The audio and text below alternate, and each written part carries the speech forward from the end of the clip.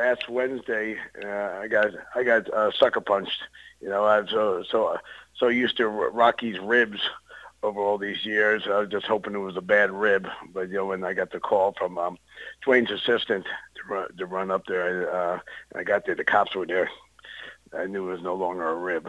So, uh, you know, it, it's, it's been it's been hard, but I know um, the family has had a um, hard time. You know, it's been. I mean, it's a, it's a tragic loss. And uh, when you know when I noticed some of the stuff on the internet, um, I just wanted to, uh, on behalf of the family, on behalf of Ata and Dwayne, and uh, and Curtis and Wanda and Tonga and the, the rest of the Polynesian family, Serona, and you know the Snukas and Afa and all of them. I, I just wanted to set the record straight, and and the Johnsons and us appreciated every person that attended there. We were honored on behalf, of, and I'm speaking on behalf of Ata, that uh, that Vince and Pat Patterson. Uh, first of all, Vince is family to them, and he's been there since uh, her dad's Peter, and uh, you know, and then Rocky, then of course Dwayne, and then we have another generation coming up and uh, and, and throughout most everybody's career. And Pat Patterson is family. Pat Patterson was Peter Maivia's best American uh, friend when he, uh, years ago. First person he ever knew. He was, they were, they were, and they've been friendly. And uh, Pat, um, as far as anything, the Johnsons uh, feeling disrespected, absolutely not. Okay, I can say that on behalf of them. They, they, they were honored that Vince took the, his time. Now, was by time Vince spoke, it was approximately two hours that Vince sat there before before he uh, it, it got a little carried away, as I noticed on the internet. Said, you know, it was a long, long sermon. Some of it was a little iffy, you know, and of course there was more drama there. It was a, it's an audience of 99% wrestlers. Uh, and I mean, you had a, you had a who's who from, um, you know, from, from uh, you know, Tonga, to Haku's family, to Afa, to Snukas, and, and um, and uh, Ric Flair, Hulk Hogan, Joe Gomez, Dory Funk, Brian Blair, Steve Keirn, Jerry Brisco, Leilani Kai, uh, Jimmy Hart, uh, Chris Markov, David Sierra, Ricky Santana. I'm just talking on top of my head. Luke Williams, Billy Alfonso, you name them. These people took their time out of the day. Tra- a lot of them traveled far to come on honor Rocky, and and and and and the Johnson family, and not only uh, Ata and uh, and Dwayne, but uh, his other two, his son Curtis and, and Wanda, and uh, and um, on top of it, eh, I'm gonna be, you know, was Vince short? He, but he was probably the most direct. He said exactly what Rocky would want somebody to say about him. He was a talented, gifted worker.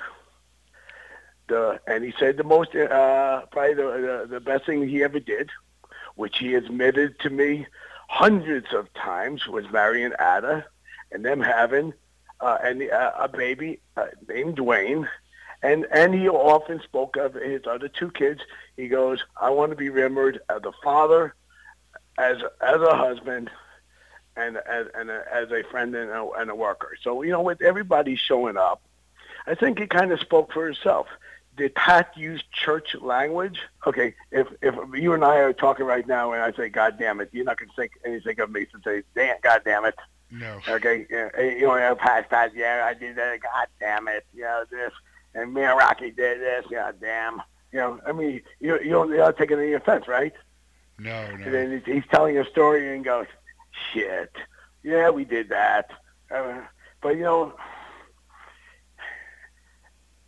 did the preacher, the assistant preacher, uh, uh, yeah. oh, oh, another thing, I read, uh, and, and, and Alice, uh, when she called me back, she goes, it says that they, they pulled, the guys had to go up there and pull Pat off the stage. I said, yeah, that's, that's how stories get told. That's go. what Billy wrote. No, they turned the mic off. And they turned the mic off the guy sitting behind them turned the mic off, and then Pat said another sentence and walked off.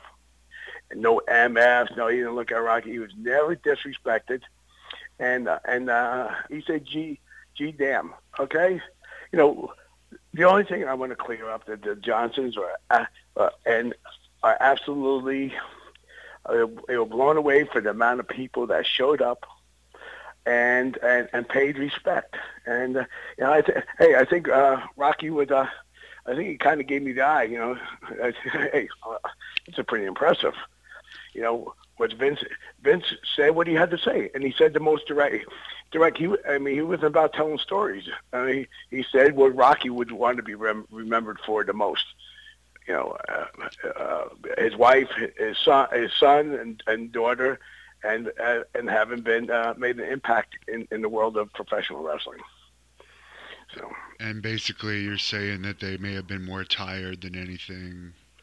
I don't even know about tired. I mean, everybody. I mean, after after sitting there, it was probably okay. Over the last couple months, I guess Rocky had gotten um, uh, uh, Steve Keirn and Brian Blair. You know, after all these years, he got back with him, and they took him to the church and he, I guess he got comfort from it. And this is a humongous church. The place might hold, you know, three three to five thousand people. I don't know. Rocky, um, know, initially uh, it, uh, it wasn't what uh, we thought um, when he first passed. It wasn't by standards that we done in the past, you know, like when Lia Maivia passed away. Small funeral, you know, in the you know in a funeral hall that's private but it's probably it came probably a little unexpected that um, probably by time Rick got up there to speak, it was it was close to two hours in. You know, hour forty minutes. I, you know, I'm, I'm going to go an hour, you know, hour forty to about two hours in. So to say, I mean, Vince, and then Vince was probably because after Rick spoke, I spoke, and then a few others people, and then I think right before out of, or Vince got up and I think, I think out of respect, he wasn't even on the program, but I think out of respect, he wanted, and he came a long ways. He sat for a couple hours, and I think he wanted to say something, you know, short and direct, and, and get and you know and, and get off. But it was absolutely, and and the Johnsons were very, very, very thankful that he did. So you know, eh, I guess you know if if people have different ways, and by the time somebody tells somebody the story, the story, and, and you could turn anything you want, you know, like they do in today's society.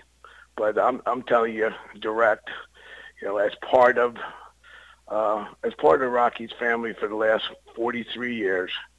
Um, you know, we were we were honored to have every person that I named and those who I didn't name because on top of my head, I can't sit here and name everybody, but everybody, you know, 99% were from from the wrestling uh, community, which uh, it's a tight knit uh, community, uh, you know, as everybody knows, especially back in the day. So uh,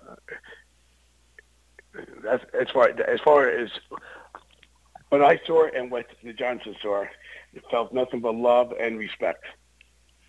And you said you spoke at the funeral. I don't want to take up too much of your yes. time. I know you're busy, but uh, is there anything you'd want to tell any of the fans listening about your close friendship with Rocky? As you said, 40 plus years. I think you owned a gym together at one point. Yeah, we, uh, I uh, I met Rocky back in '77. Dwayne was um, 77, was five years old at the time where he's turning five, a ballpark. He's born in 72, so he's five years old at the time. And we had just adopted, my brother and I had just adopted a boy uh, out of a foster home. We ki- basically kidnapped him, per se. He was uh, uh, 60 pounds, 15 years old with Down syndrome. And he became another son to Rocky. Uh, one of the story, a quick story I told at the um, at the funeral was being malnourished. His parents, uh, Milton's family uh, parents had passed away. He was put in a foster home, bouncing foster home to foster home, and I, obviously when you're 15 years old and weighing 60 pounds, there's there was some hanky-panky malnourishment going on, but uh, we had him for maybe a t- couple weeks back in uh, May of '77, and but Rocky had the answer to the malnutrition. So we we went over to uh, Ata Rocky's apartment uh, in Tampa on Havana Avenue, and Rocky was cooking up a dozen hot dogs. You know those giant packs of cheap hot dogs. So so he laid them all on the on the table and said, Milton, eat as many as you can. Well, I guess maybe about 15 minutes later, they were all gone. So eat as many as you can. So and Rocky said, "Hey, that's how the boy just needs to eat." And he became Rocky's training partner. And I remember when Milton did the Special Olympics, when he won the medal, he gave it to Rocky. And so they had a special bond, as as, as you probably noticed when you said you looked at the video last night. That that Dwayne's uh, Seven Bucks and uh, Robin Roberts uh, produced last uh, April, Rocky had a special bond with Milton, but Rocky had a special relationship with everybody in that gym because Rocky had a gift of making everybody feel special. So, you know, and he would pull ribs. He, you know, and you met Rocky, and you know, as he got older, of course, you know, he slowed down. But back in the day, Rocky was known for pulling ribs. Uh, for instance, somebody will walk in you know, guys would come into the gym on, during work hours. A guy's, for instance, a guy's driving a banana truck, you know, delivering to all the produce companies. Of course, he he, he throws the keys up on the key rack. Rocky snatches the keys, hijacks the banana truck, pulls it about around the corner in the shopping center, and has the guy call the cops. Well, the cops come, start filing a report. Rocky walks and, and, and all of a sudden, miraculously, Rocky just saves the day and discovers the, the banana truck. But he was constantly, despite all these, you know, and everybody knew, you know, what happened, but it was innocent type of stuff. Um, you know, throughout the years, like he, once he uh, he took Rocky had a ear, his ear pierced, so he took Milton to Tampa Bay Mall and got his ear pierced so they'd be like twins. well, my brother was vehemently against piercing, and so was Ata. So so they brought Milton back with a pierced ear, and boy did they give give Rocky hell. But Rocky thought it was uh, so it was it, everything was a was like a joke, and he and he had a way of instigating too, especially his mother-in-law and father-in-law, and uh, and uh, we were all in Hawaii together, and he would do things. Uh, I'll never forget one time he had um a couple he had a couple instances.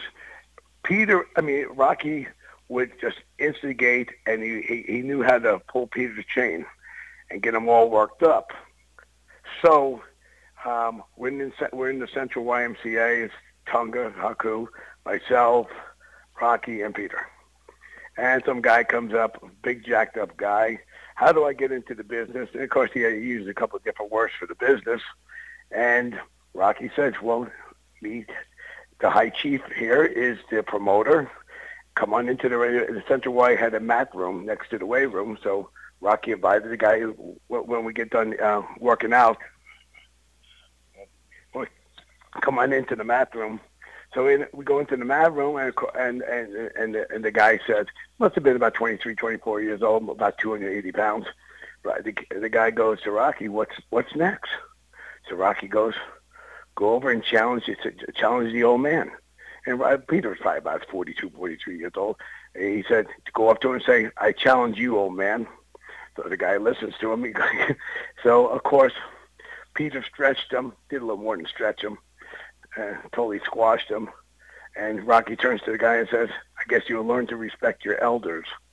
And it was it was a it was a constant um, type of thing. And the stories I I, I could sit here from uh, for the next 24 hours and tell you Rocky Johnson stories.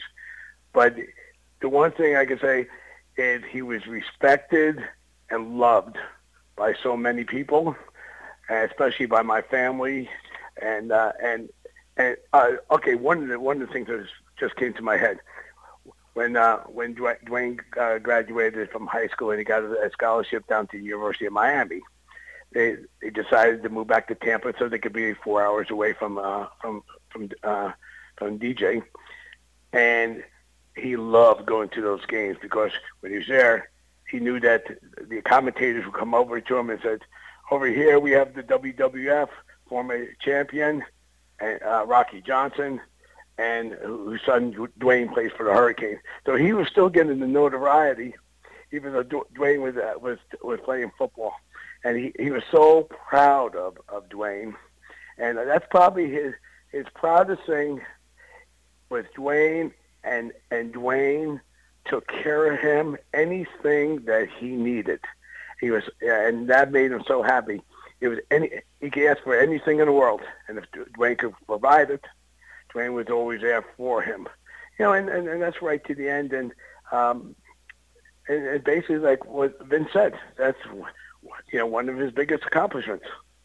is his uh, his, uh, his children. Well, thanks a lot uh, for sharing those memories. Sounds like he was a great guy. I've never heard really too much negative about Rocky Johnson. Most people had positive experiences uh, with him, and I'm very sorry for you about the passing of your friend. Yeah, like I like I said earlier, he made he had a way of making people feel special, you know, and uh, and that's probably how he, he made you when you when you when you met him, and and he carried he carried that that was his, that was his gift.